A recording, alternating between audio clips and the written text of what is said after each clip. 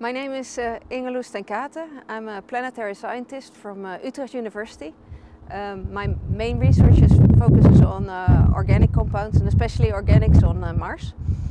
And the main reason why I'm interested in astrobiology um, is because it's, it, it offers this framework that, that connects all kinds of different research disciplines uh, together in order to search for the origin of life. And, and that's also where I go with my research. I'm very interested in the origin of life.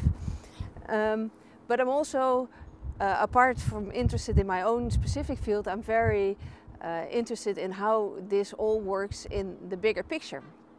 And that's exactly the kind of framework that astrobiology offers.